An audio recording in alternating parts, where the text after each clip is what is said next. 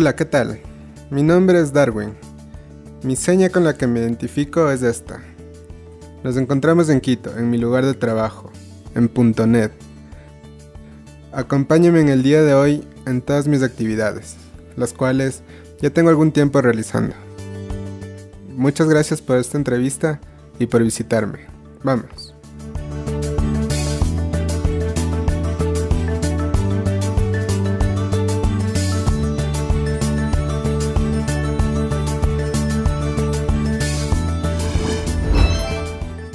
Hola, ¿cómo están? Mi nombre es Darwin, mi apellido es Achig. Mi seña con la que me identifico es esta. Tengo 40 años y soy de la ciudad de Quito. Bueno, quiero contarles mi historia. Soy una persona sorda. Me cuenta mi familia que a los 9 meses de nacido tuve una fiebre muy fuerte. Me llevaron al hospital. Mi madre estaba muy preocupada. En este centro asistencial me suministraron un medicamento el cual colapsó mi sistema auditivo. Y bueno, pues debido a eso yo perdí la audición. Ahora soy una persona hipoacúsica. En mis años escolares, recordando mi infancia, pues bueno, yo estudié en una escuela oralista llamada Nueva Vida. En esta escuela tenía compañeros que también eran personas sordas, al igual que yo. También asistían personas hipoacúsicas, es decir, con restos auditivos. Otros utilizaban audífonos, sin embargo, dejábamos las señas un poco de lado, ya que nos enseñaban a oralizar. A los 8 años me trasladé a otra escuela para ingresar al sistema educativo regular. Este colegio era el Consejo Provincial de Pichincha. Formé parte de la educación inclusiva por decirlo así. Me guiaba con mis compañeros en lo que tenía que hacer, por ejemplo mis tareas. Siempre me ayudaron. Tiempo después, ingresé a un colegio de inclusión con oyentes. La verdad, en esta institución me sentí con algunos problemas de comunicación. Se comenzaron a ser más comunes y bueno, estas barreras de comunicación son a las que tuve que enfrentar. Tengo que decirles que en ese tiempo no existían intérpretes dentro del aula, y cuando una profesora dicta sus clases, pues obviamente se complica para una persona sorda, ya que tocaba leer los labios y a veces no se captaba todo. Por tal motivo, prefería leer los libros de texto, ya que de esta manera podía aprender mucho mejor. Sin embargo, son barreras, son brechas que se pueden acortar cuando uno se esfuerza y pone de parte. Entiendo que para otros se les dificulta la lectura en español, en cambio a mí me encantaba de sobremanera, me educa. Por parte de mis compañeros del colegio sí recibí su ayuda. Con mis compañeros de escuela fui algo diferente. Se veía entre mis compañeros su voluntad de ayudarme. Me decían, vamos a escalar, vamos a la biblioteca, vamos a jugar fútbol. Pasábamos tiempo juntos, era muy agradable. Mis compañeros no mostraban interés en aprender la lengua de señas. Por tal motivo yo oralizaba con ellos. Pienso que teníamos muy poco tiempo para compartir. En mi caso, yo puedo oralizar, y así me comunicaba con las personas oyentes. No utilizaba las señas. No fue sino hasta los 23 años cuando mi mamá con una compañera fueron a buscar alguna asociación de personas sordas. Les informaron que una de estas agrupaciones quedaba cerca de la casa presidencial, por la Plaza Grande precisamente.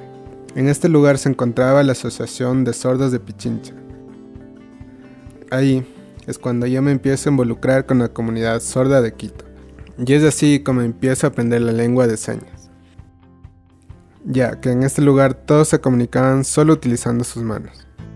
Era raro porque al principio no me gustaban las señas. Sin embargo, tiempo después, con mucha paciencia y perseverancia, entendí que podía expresarme mucho mejor. Claro, al inicio preguntaba qué significado tiene este signo y cosas así. Transcurrió el tiempo y me sentí muy bien en utilizar esta lengua. Tiempo después me hice miembro de la Asociación de Sordos de Pichincha. Y bueno, también nos dieron un lugar estable para nuestra asociación. Nos entregaron una sede en Comodato cerca del Teatro México. Es allí donde empiezo a frecuentar la asociación y empecé a socializar con mis pares. Me gustaba conversar con ellos.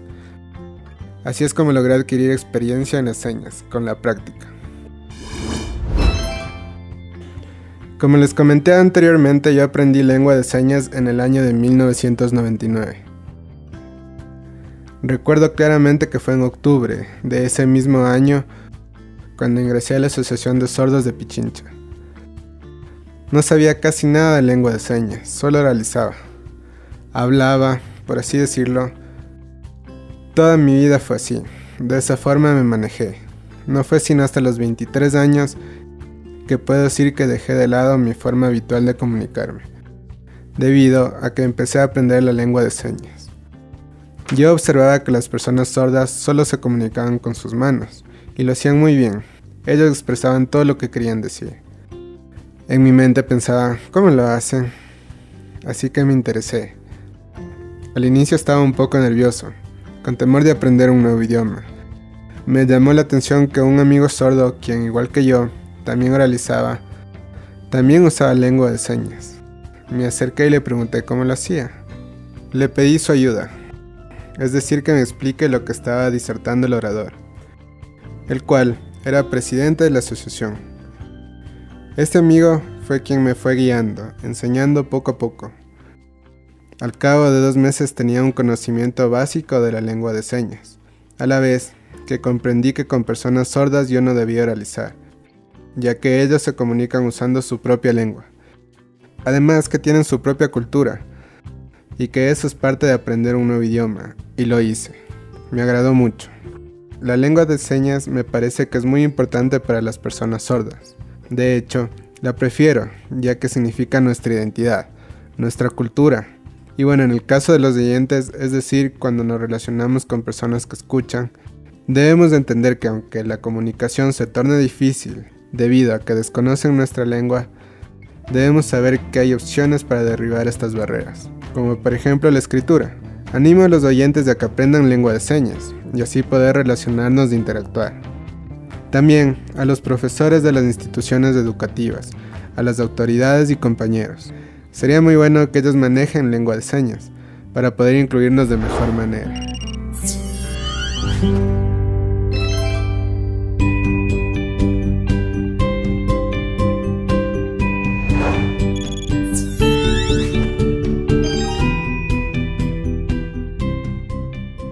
Bueno, terminé el colegio gracias a un amigo sordo llamado Bolívar.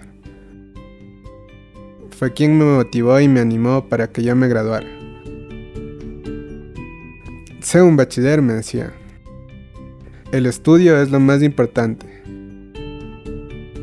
Me repetía a cada instante. Así que lo logré. Obtuve mi bachillerato en informática. Y le agradezco por su apoyo. A partir de ahí empecé a trabajar en el SRI, gracias a una persona oyente llamada Marco Valencia. Era una excelente persona, muy buena con las personas sordas. Nos daba una atención especial. Él nos apoyaba para que sigamos progresando y conseguir un mejor futuro. Tengo buenos recuerdos de él. Gracias a él empezamos a trabajar en el SRI, no solo yo, otros compañeros sordos también. Fue muy bueno con nosotros. Él nos incentivaba para que tengamos una actitud positiva. Ahí me inicié como auditor, como auxiliar contable. Mi trabajo era revisar toda la documentación y mis compañeros también me ayudaban. Si yo necesitaba algo, y de igual forma, si ellos requerían algo de mí, estaba siempre presto a ayudar. Ese fue mi primer trabajo, esa era mi vida. Trabajaba de lunes a viernes y los días sábados estudiaba. Una vez que me gradué, obtuve mi bachillerato en informática y me dieron mi título. Estaba muy contento mi familia, mi hermana. Mis padres estaban domiciliados en España, específicamente en Madrid. Ya más o menos unos 20 años. Así que yo vivía junto con mi hermano. Teníamos nuestra propia casa. Tiempo después mi hermano se fue con su novia e hizo su vida. Yo empecé a vivir solo, pero estaba contento. Me concentré en trabajar. No dejé que nada me distrajera. Pasó el tiempo y una intérprete llamada María Yepes me ayudó a encontrar este trabajo aquí en .net. He estado aquí ya por tres años. Entre mis funciones está encargarme de los toners para las impresiones. Si algo anda mal con las impresoras, soy el responsable del mantenimiento, así como la compra de insumos. También soy el encargado de los depósitos y retiros de dinero. Junto a mi compañero Santiago, somos los responsables de la valija. Es decir, soy el responsable de la entrega de los paquetes. También soy la persona responsable de la bodega.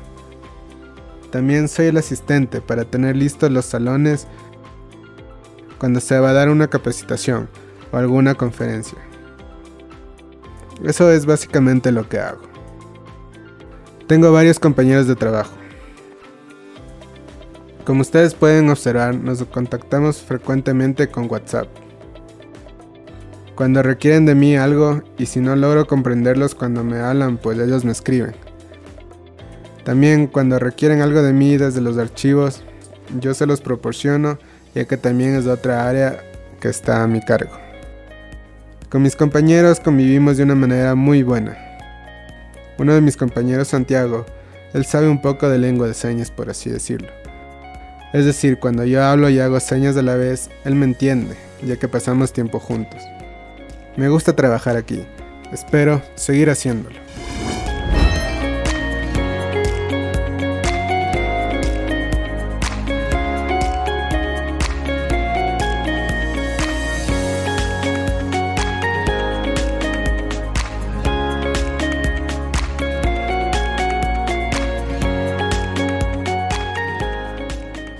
Con mi compañero de trabajo Santiago,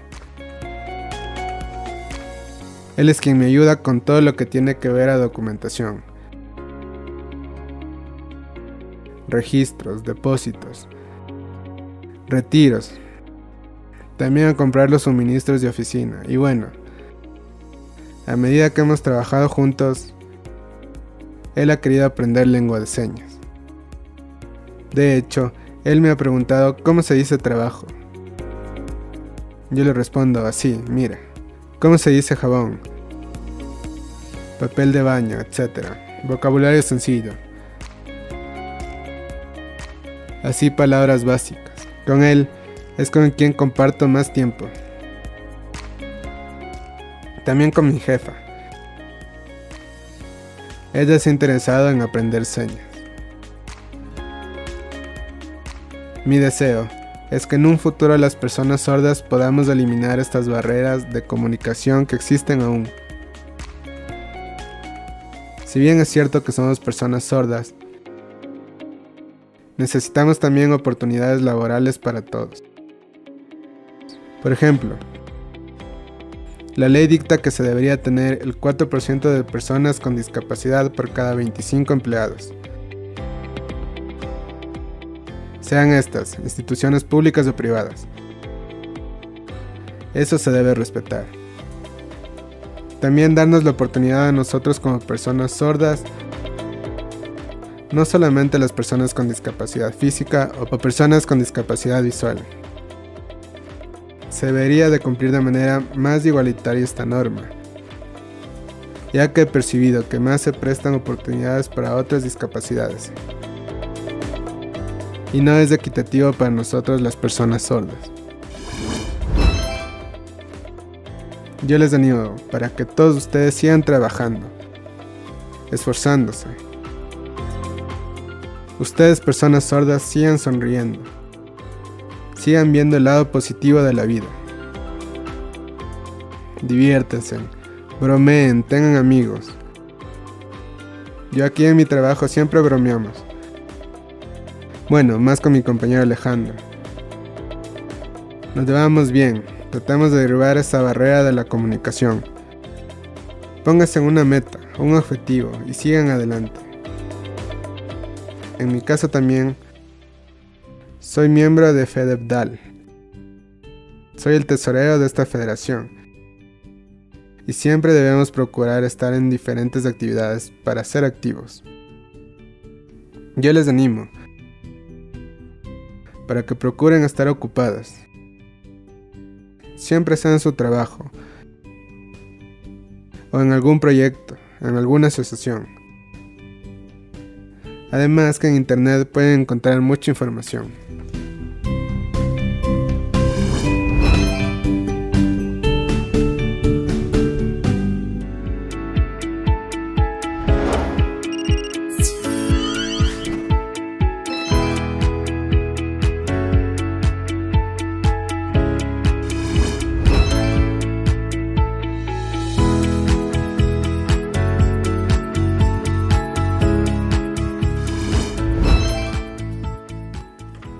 Mi afición por la bicicleta puede decirse que comenzó desde que era un niño, a los 11 o 12 años. Yo no tuve quien me enseñe a usar la bicicleta. Simplemente aprendí observando.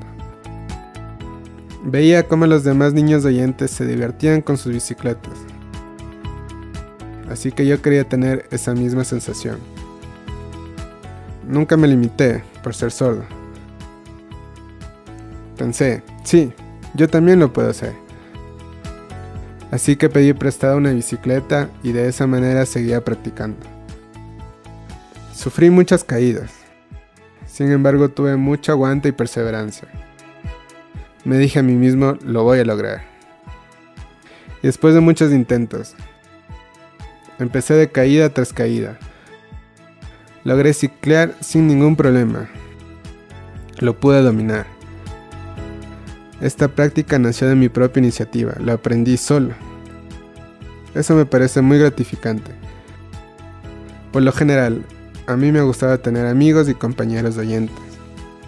Recuerdo que salíamos desde Solanda, mi barrio, paseábamos por los parques, solíamos ir a Cumbayá ciclando. Siempre con mi mismo grupo de amigos. Recuerdo que pasábamos de una bicicleta toda la mañana.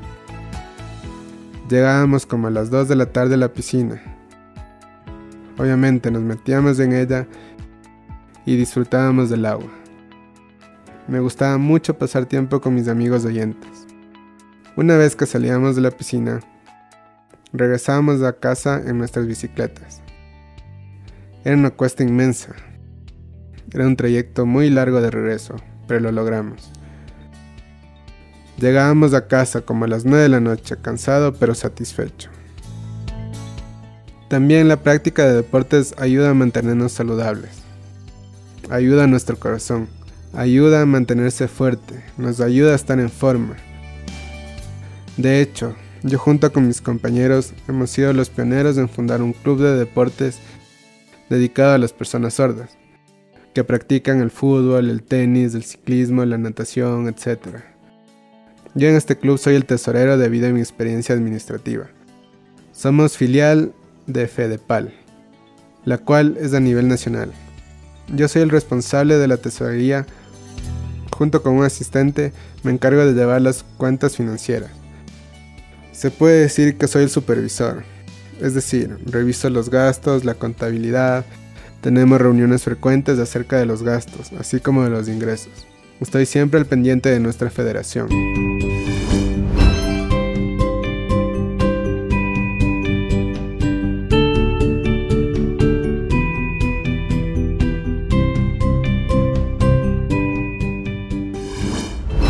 Ciclear para mí es muy importante. En mi caso lo realizo todos los fines de semana.